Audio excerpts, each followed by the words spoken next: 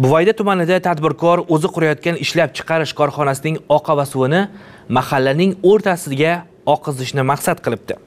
Hududdagi eng gavjum ko'cha chetidagi bo'sh turgan yer maydoniga oqava uchun chuqur ham kavlabdi. Qurilish ishlari boshlandi ham. Ammo hokimlik biz ruxsat bermadik deb o'zini bir chetga olyapti. Buvayda tuman markazidan sal narida bir ko'cha bor. Nomi Mustaqillik Inoyat. Bu ko'chada esa tadbirkorlar ham mustaqil, biror ish qilishdan avval na mahalla raisi va na bu yerda istiqomat qiluvchilar bilan maslahat qiladi. Ishbilarmon ko'paysa yaxshiku mahallada. Odamlarning e'tirozi nimada dersiz? To'g'ri, faqat bu tadbirkor mahallaning eng gavjum ko'chasi qolaversa. Tumandagi o'quvchi soni bo'yicha katta maktablar sarasiga kiradigan muassasa oldida o'zi qurayotgan ko'p qavatli binoning oqava suvini oqizish qudug'ini kovlamoqda ekan. Bega hojatxona bilan hammomda chiqindi tushar ekan. to'r to'rt kamerali qilibdi, o'sha piltillanib piltillanib o'tilar ekan bu oxiriga. Bu yerda maktab bor, bu yerda vodokanal bor, ichimlik suvi. Bu yerda mahalla bor, aholilar yashaydi. Katta yo'lni qirg'og'i bu. Bugun erta bo'lmasa ham shu oylar o'tib, yillar o'tib zarari bo'lsa kerak. Tadbirkor mahallaga begona emas. Bir necha yildan buyon hududda faoliyat olib boradi. Ishlab chiqarishga mo'ljallangan binosi oldiga qurilayotgan yangi inshootning oqavasini binoga yondosh joylashgan maktabning shundoqqina biqiniga joylashtirishni maqsad qilibdi. Bu masalada bizdan ruxsatnoma, rozilik xati, hech qanday hujjati, umumiy hujjati ham yo'qligini o'sha birib kirganimizda bildik o'sha hujjatlar yo'q. Davlat xizmatlariga murojaat qilgan taqdirda ham beydan mahalladan rozilik xat so'raydi. Biz xatni bermaganimizdan keyin o'zimizdan bu narsa amalga oshishi qiyinroq. Siz tasvirda ko'rib turgan bu quduq bundan bir hafta ilgari kovlangan. Bu yerdan esa mahalla aholisini toza ichimlik suvi tarmog'i ham o'tgan ekan. Uni turbasini teshib ham qo'yishibdi.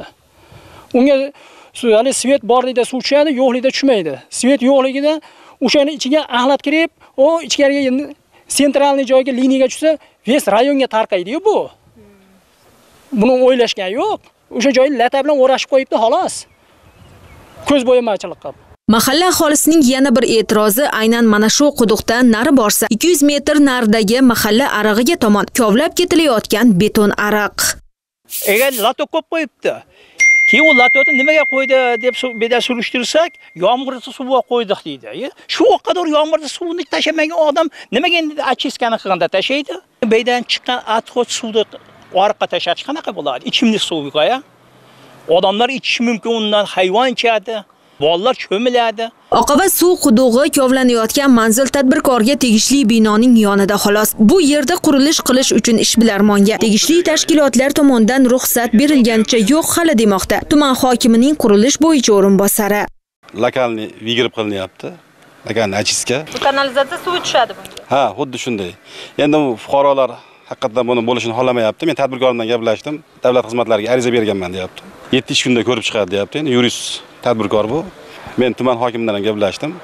Agarda arizasiga rad javob bo'ladigan bo'lsa, bu joy bir hafta muddat ichida bartaraf etiladi. Oldin ruxsat olib, keyin kovlanmaydimi? Hozir kovlab deyarli ishlar yakunlangan bu yerda. Endi albatta eng avvalo qayta bo'lsa hamki, avvalo qurilishga ruxsat olib, keyin qilish kerak. Endi tadbirkorda ham nima deydi? Hamma besh qo'lan barobar emas. Bu tadbirkor ishchi o'rin yaratyapman deb balki noto'g'ri o'ylagandir davlat qonunlarini. Qonun hammaga barobar, kim bo'lishidan qat'iy nazar. Bu narsani ko'rib chiqamizda, albatta noqonuniy bo'ladigan bo'lsa, o'z-o'zidan bartaraf qilinadi, xalq talab bajariladi. Tadbirkorni o'zini odamlar orasiga chaqirib yuzma-yuz bo'lishni istadik, ammo ishbilarmon buni istamadi. Hokim keladi, chiqmagandan keyin oldi xalqqa sotga bermaydi-da bu. Kir mana deyapti, hujjatim bor deyapti. Ha, hujjati bor odam meniga emin erkin chiqib turib, mana falonchi sen qilib bergansan bu hujjatni. Mana senlar qo'l qo'ygansan mana buni tashkilotlar deyish kerakmi? Davlatga tegishli bo'lgan yer maydonida hech qanday xat hujjatlarsiz bamayli xotir qurilish boshlash, boz ustiga qurilayotgan obyektning atrof muhit muhofazasi bilan bog'liq masalalari bo'lsa. To'g'ri, tadbirkor davlat rahbari ta'biri bilan aytganda prezident himoyasida, ammo buning uchun faoliyat qonuniy bo'lishi lozim. Aksida adolatning barchaga birdek aytar so'zi bor. Biz xalqning haqli e'tirozini ko'rsatdik. Masalaning yechimi tuman mas'ullari zimmasida qolmoqda.